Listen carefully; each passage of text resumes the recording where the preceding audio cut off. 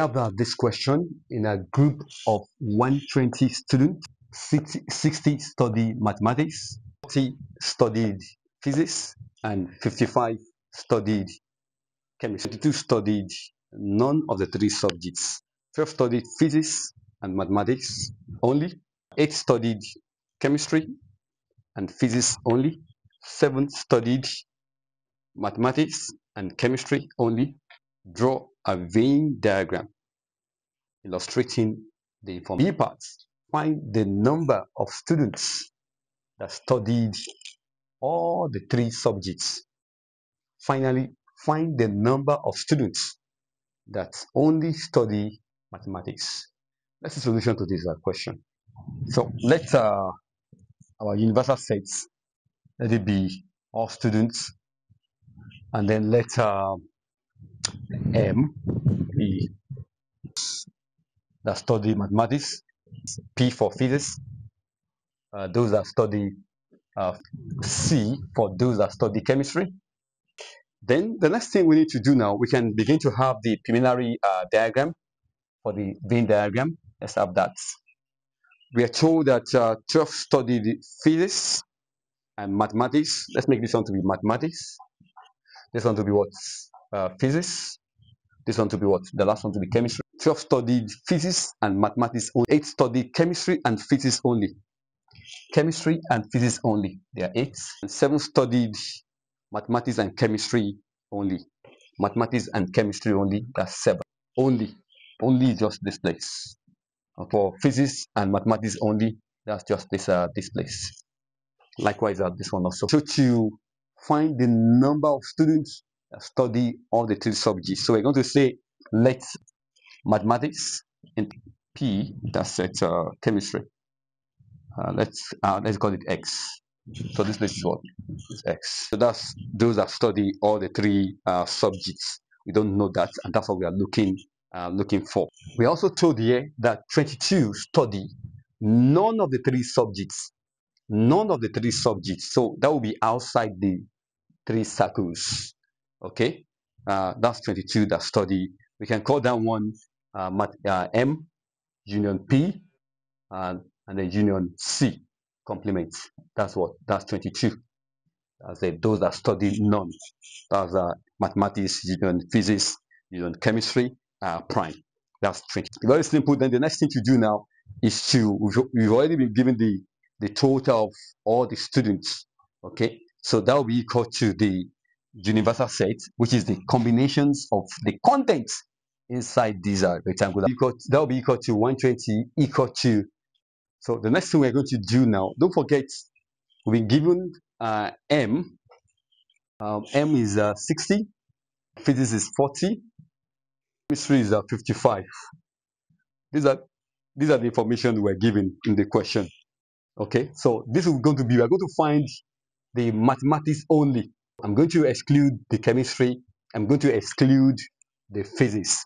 And that will be equal to 60 minus 12 minus this minus that 7 and that will be 41 minus what? Minus x. That's for the uh, physics uh, only. For physics only I'm going to use the same notation but I'm going to exclude mathematics and chemistry. This is for physics only and that will be equal to we are told that 40 is for the all of that circle and this one I've taken part of it this one I've taken part of it this one I've taken part of it. So I want to find those that study physics alone. And that will be equal to 40 minus uh, 12 minus x minus 8. And that's uh, 20 for this place minus what? Minus x. Then want to find those that study chemistry only. So we are, going, we are going to exclude mathematics. We are going to exclude physics. And that will be chemistry only. We have 55 for these all of these uh, box all of these uh, circle so that will be minus 7 minus x minus what minus 8 and uh, that will be 15 that will be 40 uh, minus x that's for those that study chemistry uh, only and don't forget we have uh, 22 outside here for those that study none of the subjects.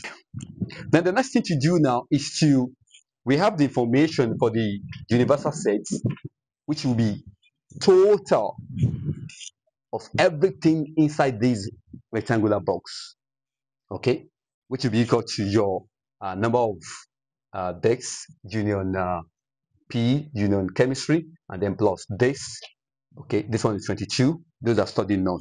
So those this one M union P union C is just the combinations of the three uh, circles, and that will be equal to 120 equal to uh, 41 minus x uh, plus 20 uh, minus x and then plus 40 minus x okay just these combinations of what you have inside that uh, box plus 12 plus 7 plus 8 then plus uh, x.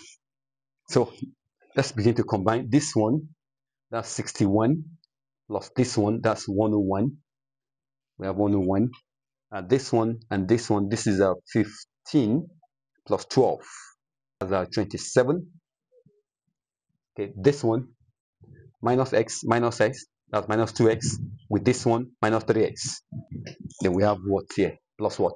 Plus uh, x here 20 uh, equal to this. Uh, here we didn't have this one plus 22 okay the one here plus 22 plus 22 yeah two. so we have 120 equal to 150 minus what? Minus 2x minus 3x uh, plus x. That's a 2x then we can move this minus 2x to other side. 2x equal to what? 150 minus 120 that's a, a 30 so x is what? X is 15 so 15 is the answer. Then we can now uh, talk back in words that the number of students that study all the three subjects are what? Are 15 last part. Find the number of students that study only mathematics. Only mathematics. The number of students that only studied mathematics. And that is our here this is our 41 uh, minus x. 41 minus uh, x. And that's a 41 minus uh, 15 so that's 26 are the number of people that study only mathematics. When you're watching this video take your journal okay? Take your, your pen and begin to work along with the speaker. That is one of the ways to what? To grab these uh these uh aspects as fast as possible. And for retention that's very good let's I forget don't forget to smash the uh the watermarks on the video and subscribe. Don't stop there. Click on like button and begin to type your comment